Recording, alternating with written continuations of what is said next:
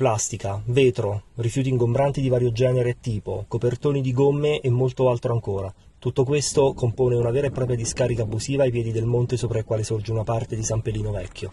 Una situazione incresciosa, grave, che deturpa l'ambiente circostante, che dovrebbe essere risolta immediatamente mediante la bonifica dell'area e quindi una restituzione della dignità del posto a chi in quella zona vive o semplicemente vi si trova a passeggiare o compiere attività all'aria aperta.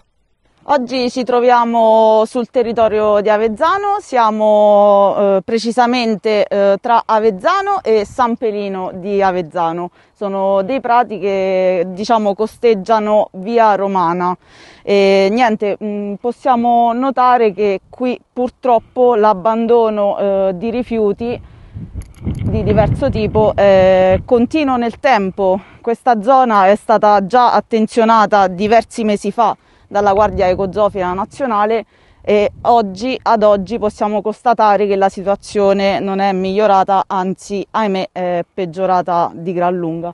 Dal sopralluogo odierno eh, possiamo notare diversi tipi, tipo, diverse tipologie di rifiuti che vanno dai calcinacci a plastica, notiamo anche frigoriferi, ci sono bombole di gas, ci sono sanitari, guaina, c'è un po' di tutto. La maleducazione purtroppo non si ferma a questo, ma possiamo notare che eh, addirittura sono stati riversati al di sotto della vallata elettrodomestici, eh, troviamo plastica, bottiglie di plastica, ci sono copertoni, copertoni di auto, copertoni di trattori.